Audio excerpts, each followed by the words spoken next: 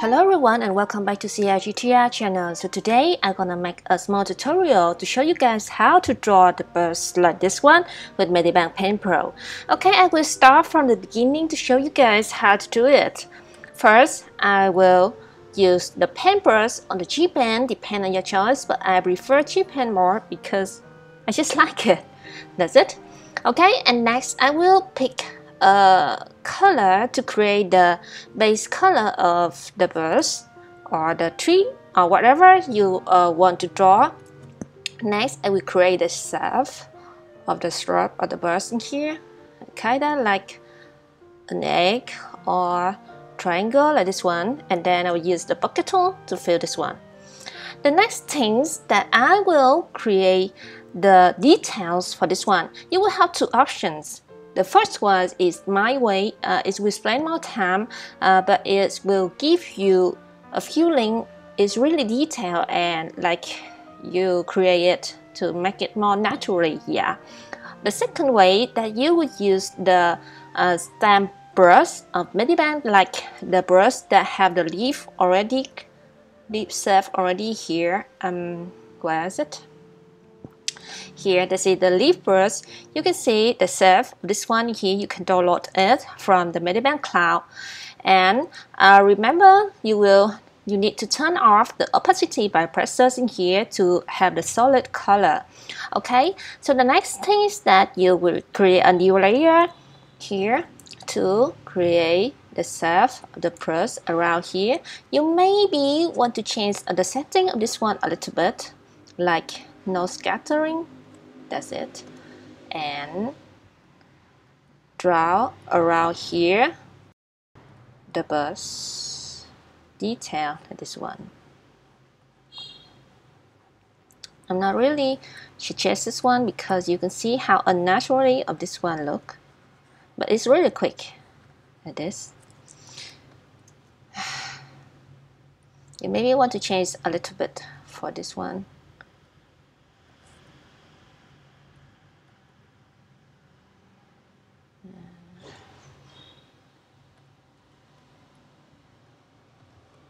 yeah maybe that is. Okay so that's how you could create the self the base color set the base set of the bus or the script whatever you want. So uh, my way is like this. I will create a new layer use the G pen or pen depend your choice I will use the G in here and I will create my own pattern. Thus, I will draw the branch in here and then create the, the leaf like this. You know that I use the Wacom or graphic tablet, so you have the pressures of the brush in here. First, you will hold it slightly and then push it hard at the middle and release it at the end. And you will have the leaf form like this one. So that's what I'm gonna do. Do it quick and you will have the surf like this, okay? So I'm gonna draw it around here to make it more naturally for the leaf, like this one. Spend a little bit time for this one uh, and do some surf like this you can do a trick here that you already draw. You can see that how I drawing here. And then duplicate this one by holding I will erase this one first. By holding choose the layer you just create here. By holding control or command with J like this. And you will see that the layer 10 now is duplicate. You will use the move tool to move it around. Transform tool to reduce or increase the size to make it different, rotate it, or maybe you want to flip it to another size. So apply this one and you will turn it one on. Where is it? Okay, here. You see that how we will work it. Duplicate more and more. It's also real quick, right?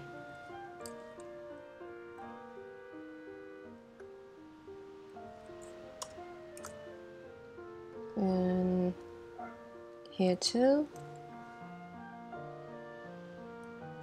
so basically you will have some like this and merge them on by holding control or command with E until here and lately I will use the G pen again my favorite brush and use transparent box in here to create some uh, grass stuff and you will draw the line here to draw the grass on the ground. Kind of like this one. And go back to the basic color in here to draw some grass in here to make it look more naturally. That's it so after all of your work you will have the form like this one. Okay? So here will be your basic layer. And the next thing you create a new layer. Choose clipping so you will work in this basic surf of the bus or the shrub uh, you will use the airbrush in here and pick two color. The first color gonna be the shadow and the second color gonna be the highlight. Okay, I prefer the color around uh, the blue neat science here for the um, shadow and I will drag the airbrush increase the size of the airbrush to make it big and drag it around here. Remember where is your light source and then you will pick the highlight, put it around here. That's it. So you will have amazing uh, the, the pictures in your mind that how the light will appear in here and where's the shadow. Next step, you create a new layer for the detail.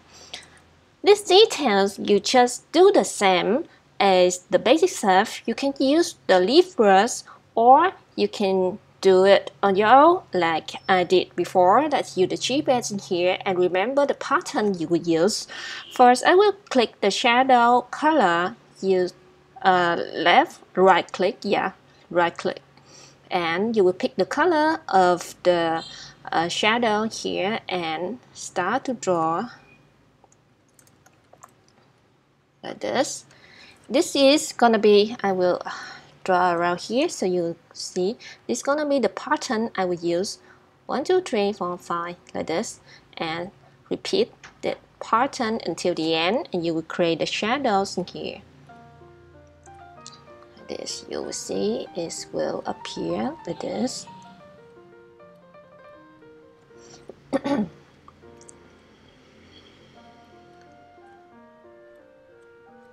When you read to the lighter color, pick the lighter color around here and pan over this with the same pattern and you will have the detail of this one. Continue to work around the color area that it will show you and you will have the final result like this one. Here, the color of the highlight and the shadow then it's gonna be the detail. You can see it. I repeat a lot of pattern in here. For the dark color, I will pick around here. I maybe want to pick a darker color and then the middle color in here until it's reached to the highlight color like this one. Now I'm finished the detail for this bird or shrub. Uh, maybe uh, until this step and you work it first. Uh, is gonna be around five or six minutes. And the next thing, this one just the optional. Uh, if you left look like this enough, just leave it the same or you want it to have more transparent look, you will create a new layer and choose darken. Blending darken and then you will use the airbrush, pick the color to make the shadow look more smooth uh, you will pick the color around the green, around the middle colors in here and use the airbrush here to drag it like this one. Okay, you can see the color gonna be dark like this with the shadow. Okay, this one just be optional. You can do it or not, depend your choice. Next, we're gonna add some color, some effect for this one to make it more beautiful. Okay, I will create a new layer and change it blending to the dodge here. The dodge blending here will make your color more brighter, more shadow rotation and more beautiful. If your color look kinda dull you can use this color this blending to make your color look more vivid and uh, brighter. Okay you can see I will turn this one on as this is how it look. So I will create a new layer. Choose dodge here airbrush the same and pick a colors. Here I want to create some filling that make the color more beautiful. So I will pick around the uh, purple in here near to the pink cut of like this. And you will see with the dodge color is we're changing the shadow like this one. You see? Now the color and I will add more green here. You can see how the color is gonna be brighter. So be careful when you use this one or else it will look kinda strange. Okay here more brighter color. That's what I'm doing the next thing here I create a new layer normal that could add more detail to create more feeling about the highlight. That depends on your choice. You can do it or not. It will be uh, just more effect or it's just stay the same. Okay, so you just create a new layer, just leave it normal, pick the color, the highlight color in here and choose this more lighter color, turn it around the yellow in here, go back with the G pen, add a detail of the brush to make it look brighter like this one. You can see draw the same pattern of your brush here and here. Don't add it too much you remember that is where the strong line will appear in the brush or the shrub around here. So add it like this one. Okay some here and maybe some here. Some here too. Until you're satisfied with the result you'll see that is the color I chosen here. And then the final one is a little bit touching to make it more stunning. You will create a new layer and choose the blending is add. This add will make your color look kinda is like glowing. And because you this one will be the best effect if you want to show the strong line appear on your object. So I will choose add for blending go back with the airbrush in here for soft filling pick the highlight color and you will see that how it's working like this one okay? So that is all about the tutorial. Thank you for watching and see you next time